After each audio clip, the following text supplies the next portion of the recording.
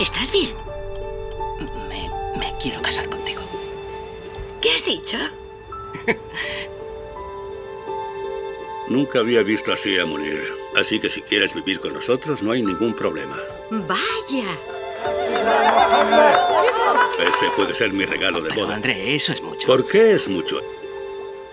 Es el padre adoptivo de su marido y ha comprado una casa donde seguirá viviendo con ustedes.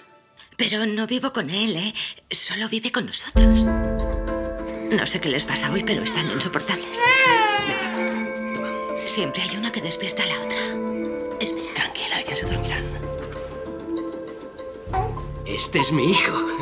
Tengo la cabeza así, acabo de entrar y mi arma jaleo por un pony.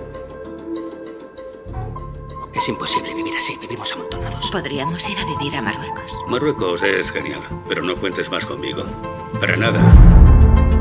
Tenemos derecho a vivir en familia. No puedo hacerle eso. Tú eres el padre de mis hijas. Es contigo que quiero Ah, vivir. mira la mamá. No estamos tan mal aquí, no nos falta nada.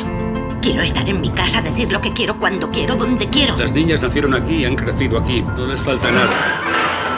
Debe vigilarla. Es culpa mía. ¿Qué cree usted que le provoca la ansiedad? No lo sé. ¿Te das cuenta de lo que sienten los niños cuando te ven así? Tengo malos pensamientos. Tengo miedo por los niños.